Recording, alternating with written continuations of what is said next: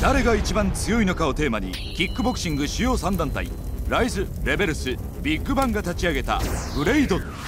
その第2回大会ブレイド2が8月1日大田区総合体育館で開催される。今回は55キロ級の国内トップファイター8名によるワンデートーナメントジャパンカップアンダー55キロが行われる。軽量級真の日本一を決めるこのトーナメントに出場するのは UKF 世界スーパーバンタム級王者ユーウォーワンチャイ。これで自分優勝してみんなに最強って認めてもらえる、まあ、いい機会なんで、まあ嬉しいです。正直、まあ、この出場の査定試合とかって結構緊張しててでも、まあ、岡田選手もムエタイできる選手で、まあ、いい感じに自分のペースでできたんでまず UO ワンチャイの U は自分本名が大田原祐介でその U を取って O ワンチャイっていうのはタイのジムの名前ですタイに行くようになったのがもう向こう住むようになったのが中学校1年ぐらい。いやもうキックボクシングよりもムエタイの方が好きで。まあそっちに憧れてたんでお父さんもそうもしそれだったら本場行ってやれってことで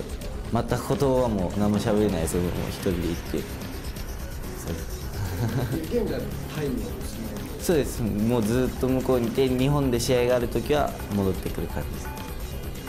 昔うちのジム来てたんですよ。で一緒に練習しててまあ彼も努力してここまで上がってきたんで。でもいくら強い選手でも負ける時は来るんでちょっと一回自国見てもらおうと。この辺で。一緒に練習したら一緒にスパートとかやってあやってましたそうなんですねぐらいあれがいつだっけな？それも多分4年5年ぐらい前だと思うんですよ。中学校ぐらいです中学校。2年とか多分3年とかだったような気がしますあんまはっきり覚えてない。その後はやっぱり印象になっていやでも昔からもう速いのは印象的だったんで、まあ、今もう大きくなってパワーとかついてきてまあ昔とは。でもなんだかんだ言ってちょっと速くなってパワーがついただけで多分何も変わってないんで。それはあの怖怖さ。全然怖いとか試合で怖いって思ったことないです。弟もアマチュアでジュニアの時に2回やって負けてるんですよ。自分の弟が天心君に。なんでそれ本当はね自分で再生して勝ってもらいたいですけどまあ兄としてそこで敵っていうので。ある意味リベンジリベンジですね、まあ、前回安幸選手もムエタイで負けちゃったんでそのリベンジも兼ねて、まあ、自分が圧勝して優勝します。お願いします。